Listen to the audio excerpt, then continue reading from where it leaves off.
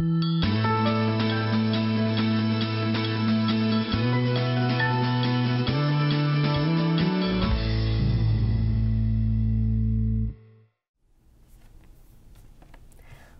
to the Columbia School of Journalism. I'm Jane Eisner, and I'm here with my colleagues Marguerite Holloway, Alisa Solomon, Nick Lemann, and Winnie O'Kelley. And we're here to talk to you about the Masters of Arts program.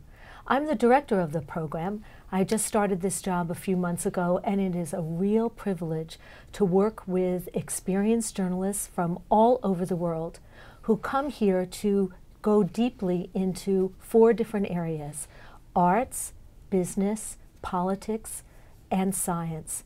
And we're here to talk to you about each of those concentrations and the purpose of the program and what you will get out of it if you should come.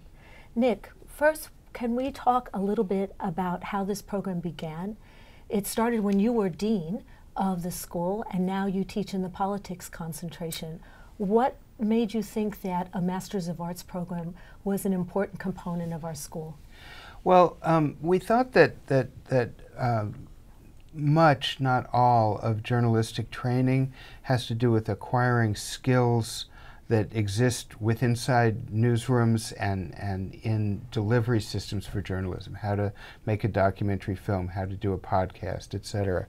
And that's obviously super important to getting a job, but there's another level which is how to understand the substance of complicated issues you might be asked to cover.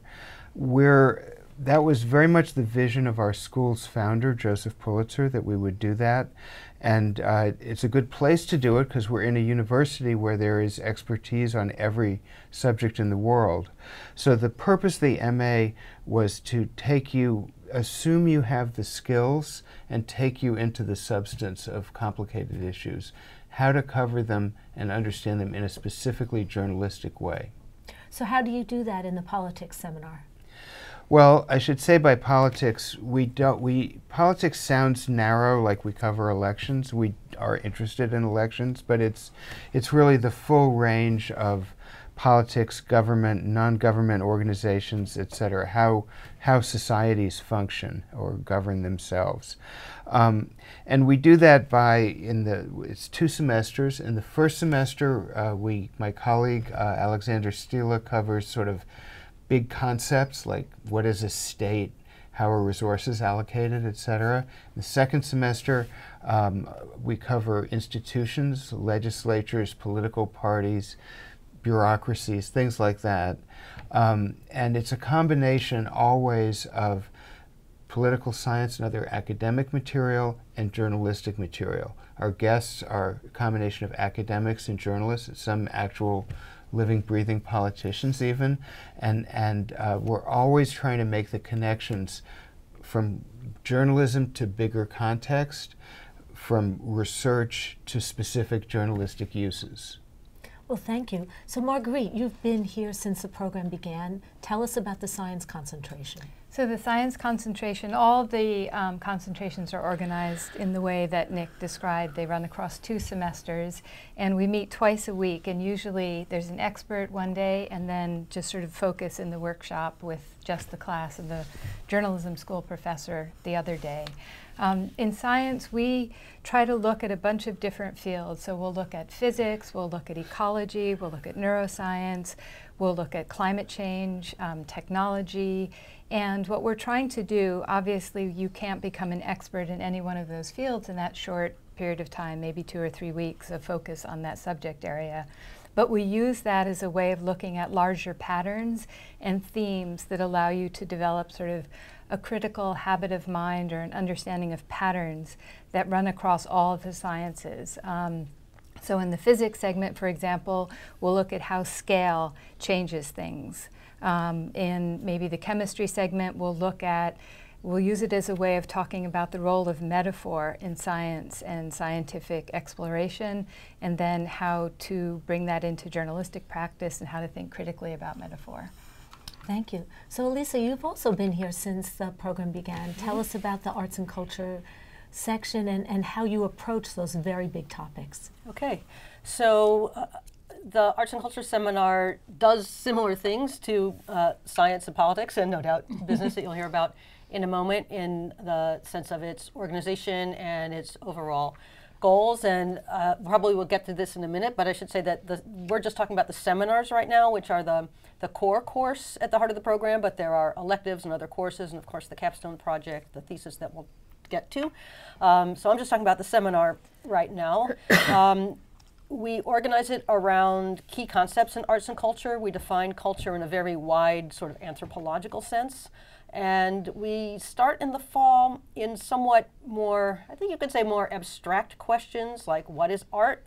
What is culture? How do we define who an artist is? We try to historicize those concepts and then build on that. And as Nick said in the in the politics concentration, in arts and culture as well, we're reading the work of scholars, researchers, um, longtime critics, and also artists. And we have visits from scholars in various fields that are adjacent to what we're doing. So we spend two sessions on unpacking the concept of culture.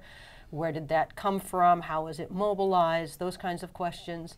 Um, we just this morning had a unit on experimental film where uh, the, the kind of overarching question is what do we do as arts writers when we encounter work that we don't already have a vocabulary for? That we don't already know where to put it or how to describe it. And in the past, we've talked about experiment, excuse me, experimental music in that respect. Um, today we looked at, at film with a scholar of experimental film here at Columbia named Ronald Gregg and had a, a really terrific um, conversation about that. The other, th and then in the spring, the focus gets a little more uh, nitty gritty onto questions of economics, politic, politics, policy, um, funding, things like that. And of course, we have the advantage of being here in New York City. So we are going to things all the time as well. Um, we do a, a, beautiful tour through the Museo del Barrio of the street art of East Harlem and then visit the museum. We do a Chelsea Gallery tour. We have a project with Theater for a New Audience where we attend rehearsals of a Shakespeare production. Um, we cover, in the fall, we cover an arts festival called Crossing the Line, which is a whole bunch of weird experimental work that people are just like thrown into right away, doing one review and one reported story. And um, we're collaborating with the website Hyperallergic this year that's posting some of the stories, which is really exciting. Great, thank you. So Winnie, you recently took over the business concentration. Tell us about it.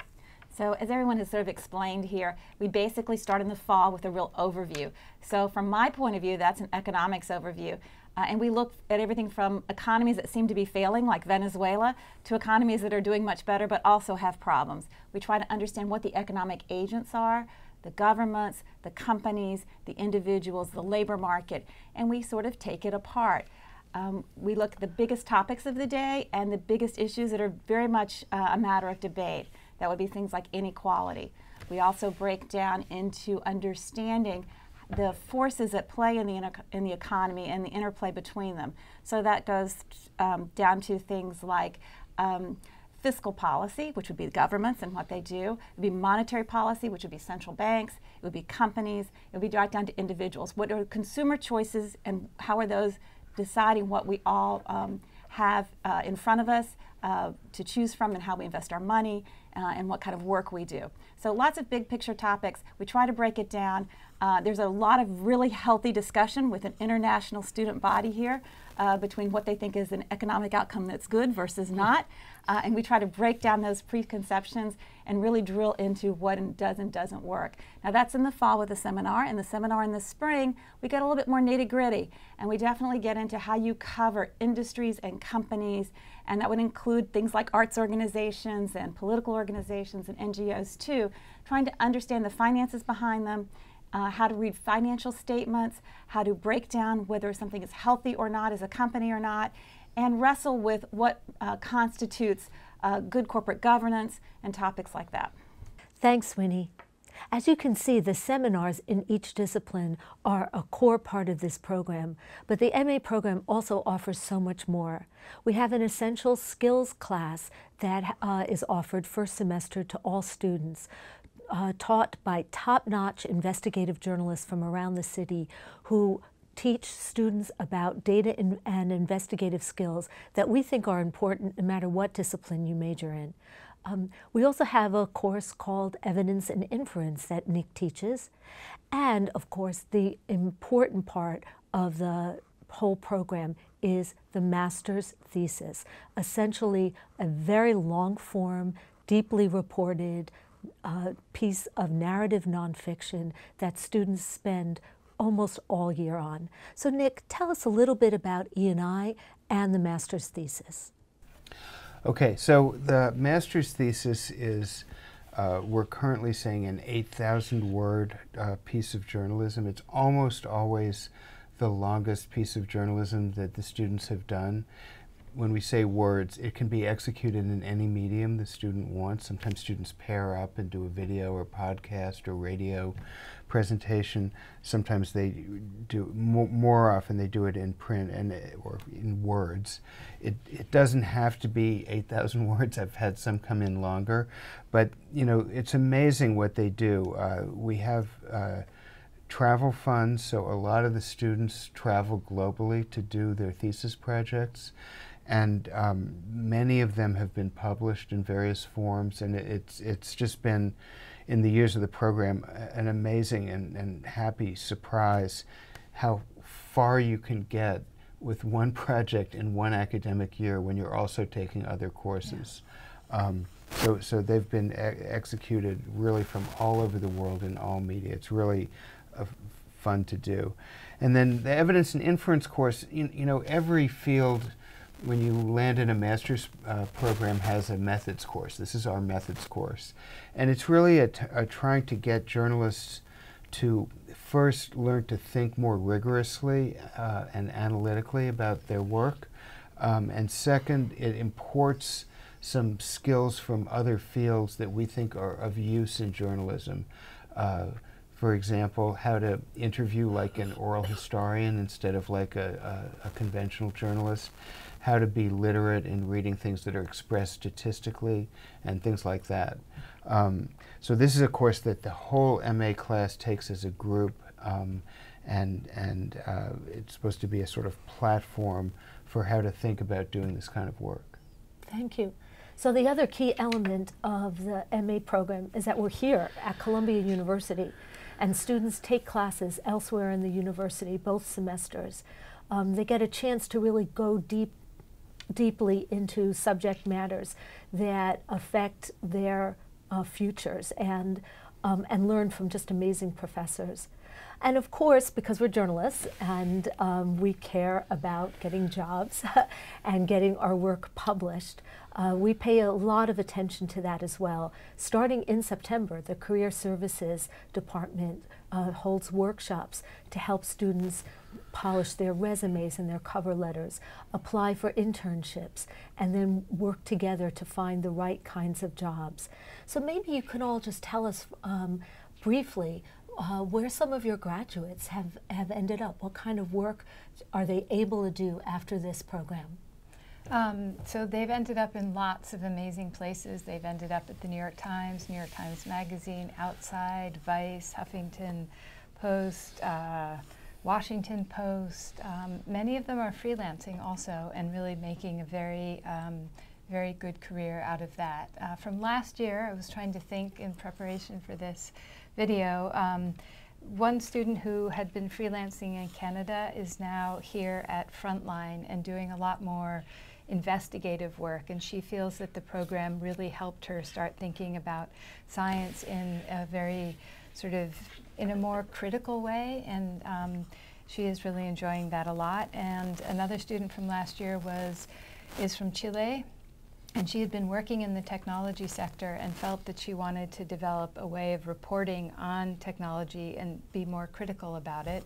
She's now at Popular Science. So those are two uh, two recent examples, but they've they've done very well. And but not all of them have ended up in jobs. Some of them are also uh, freelancing and seem to be doing well with that. That's great. How about arts and culture, Lisa? Yeah, so um, I'm excited to answer that. But I want to say one thing about the thesis first.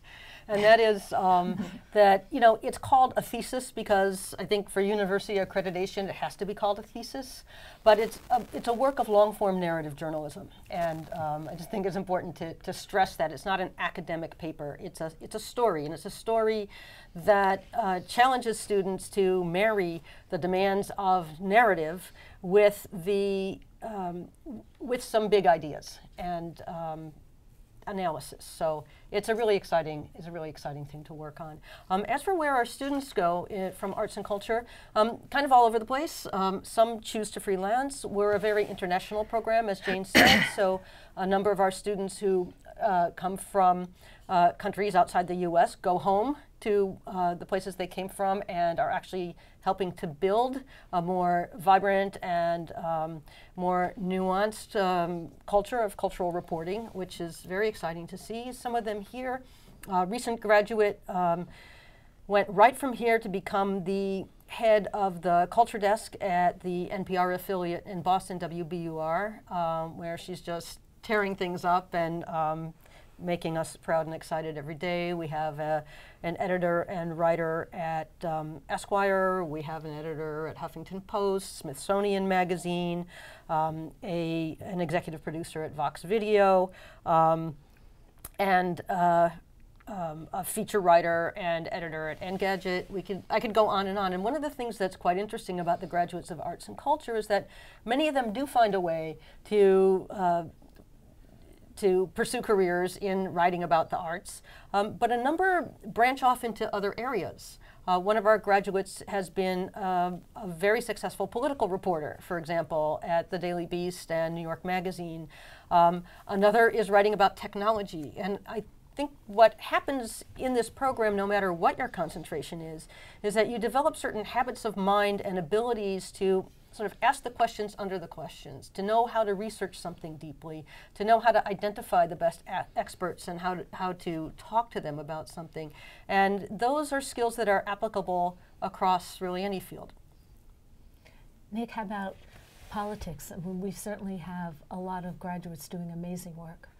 We do. I want to say first, you know, we're kind of a family business here, so I'm sure my colleagues can attest, there's never a week and there's almost never a day that I don't hear from one of our politics graduates. Mm. We're very much yeah. in touch. So, you know, right before we went on here, I was emailing with Haley Sweetland Edwards, who's one of the lead political writers for Time Magazine, about her cover story on Elizabeth Warren. Um, I want to mention especially uh, some of our graduates have been brave and been journalistic entrepreneurs. Kelly Niknejad started a wonderful site called Tehran Bureau, which is, in my opinion, the single best place in the world to get news about what's going on inside Iran. Uh, Vinod Jose and a, a, number of others started uh, the best magazine in India, in my unbiased opinion, called Caravan, which does the kind of long form journalism we do in the program. And Vinod is the editor of it now. Um, Terry McCoy has just been named the Brazil bureau chief for the Washington Post. Katie Worth works at Frontline. Ben Taub works at the New Yorker, et cetera, et cetera. There's there's a lot of, um, and and they're very global groups, so they're all over the place, mm-hmm. doing really interesting things. And Winnie, I know you've paid special attention to um, helping the business students get the best jobs they could get. Yeah, you know, I have to say they're in great demand. So that's one of the beautiful things about it. When you talk about why students come into the program, I get a, a real wide variety. Um, last year, for example, one came in who was a photographer and he had a background, but he'd not really been a, a journalist. And now he's a working journalist at Business Insider and very enthusiastic and loving it. He says, Wow, you know, we learned what Uber was going to do when it went public, and it did exactly what you said it was going to do and what we figured out it was going to do. I feel confident now in this subject matter. Um, but they come from all over the world. I have some this year from the BBC who will actually be going back to the BBC. Um, there are people who have landed at Bloomberg and are doing quite well there, working on investigative stories and covering the tech industry.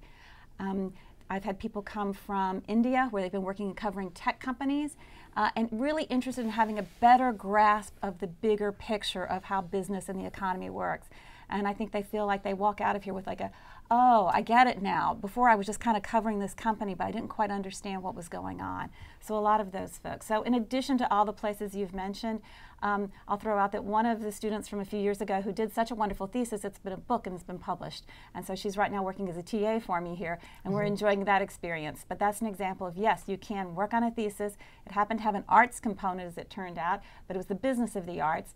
Um, and her thesis advisor says really good, and so she continued with it and has had and has published it now for everyone who's coming in, I sort of give them the same, uh, try to give them the same understanding, which is we're trying to help you understand all those linkages in whatever profession you're going, or whatever concentration you're going to wind up in, whether you're going to cover politics or business or government or science. You want to understand how a carbon tax will work or all these other kinds of things. You want to understand, you know, where the money's going for in government. You want to be able to root out corruption. And I think that is sort of what brings everybody passionately together. So as you can see, um, the students who are in the MA program come from all over the world. About half uh, of the students this year are from nations outside the U.S. And they come here um, with a great deal of curiosity and desire to go deep into subjects, but also to learn a lot about the craft of journalism. Um, just share with me, if you will, what you think makes the ideal MA student. So the ideal MA student is, as you said, someone who is very curious. I would say someone who gets passionate about ideas and about looking for nuance, um, who likes sort of engaging with complexity.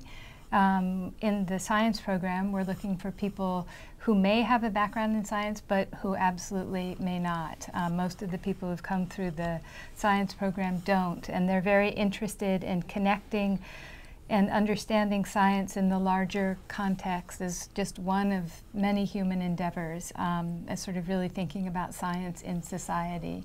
Um, and one thing I would want to add as well is that we're looking for people who are interested in being creative and experimenting with storytelling. Narrative is a very strong part of the MA program, whether it happens in long form, as with the thesis, or even in a you know a, an 800 word story you can use the techniques of narrative. And so we spend a lot of time on that and we're looking for people who are interested in in that as well. Mm-hmm. anything else to add? Yeah i think i think what marguerite said applies to all of the concentrations.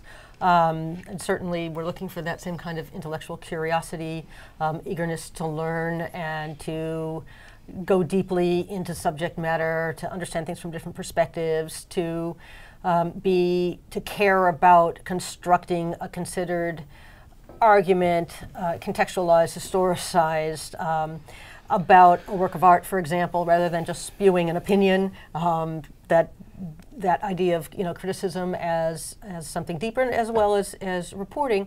And I, would also like to say that our our application suggests that that applicants uh, should have had you know some number of years of experience already. And that's a pretty good benchmark but i'd say that when we're reading applications what matters more than the number of years is the nature and quality of the work. And there have been occasions when we've taken students who've been quite young but they've maybe been the editor in chief of a daily paper at a college campus, or they've been doing uh, interning where they've actually done a lot of professional writing. And so I like to think more of, you know, could you go out today and report a reasonably complicated, reasonably complicated multi-source story? Have you done that before? If all of your stories have been interviewing one person um, in one interview to write a 400 word story, probably you're not ready for this program yet, and you would benefit more from our MS program. But if, if you've had those kinds of experiences and what you're looking for is to go deeper into subject matter, um, be challenged by long form narrative, kind of up your game in your field, then this is the program for you. Um, I would say, you know, echoing what, what Alisa said, we, we've several times over the years had people who had never done any journalism, but that tends not to work that well because we're not set up to take you from zero to sort of basic journalism skills. Uh, we're the sort of next step. We're a reportorial program, so if if you know we really honor going out and talking to people, getting on a plane, getting on a bus, and going somewhere far away and talking to people. Uh, so I strongly prefer applicants who show passion about journalism, accomplishment from the work they've done, and a commitment to reporting. And I just want to throw in this one question because I get asked all the time do I have to have business experience? Do I have to understand like basic business concepts? No, you don't. Uh, but I do think you have to be intellectually engaged. And that's one of the exciting things about the kind of work we do here mm-hmm. and this area of the profession. Uh, in the fall, you'll take an accounting class, and then you'll do a corporate finance class in the spring. Those are pretty deep, intensive courses that will let you walk out of this school with a really great skill set uh, and you combine that with a reportorial thing. So I don't think you have to have business experience. In fact, I've had people who've come in as lawyers, I've had people who've come in as financial analysts, people who've been doing other kinds of work. There's not a one size fits all mm-hmm. criteria here, but I do think you have to be a very comfortable writer. And that kind of goes to the point that you were already saying. Well, thank you all so much. You can tell that uh, one of the amazing attributes of this program is the quality of the faculty. All of my colleagues here are dedicated teachers and they're also really active working journalists. So they um, also themselves have an amazing creative output and we all benefit from that. Um, so if you are interested in the MA program, please contact the Office of Admissions uh, by uh, email, uh, on the website, you're always welcome to stop by our school at 116th Street and Broadway in New York City and find out more about this program. Um, thank you for listening. I'm Jane Eisner, Director of Academic Affairs here at the Journalism School, and I hope I will see you soon.